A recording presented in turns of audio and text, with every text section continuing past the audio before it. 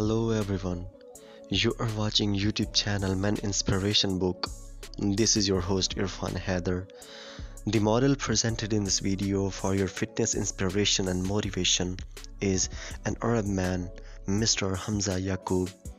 He is very handsome, tall, muscular, attractive and hairy man.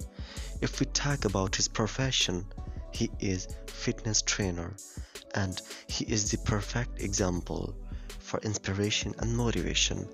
That's why I selected this model for your inspiration. As you are watching, he is very hard worker. He spend much time by doing exercises, workouts, and also running, walking, and also yoga.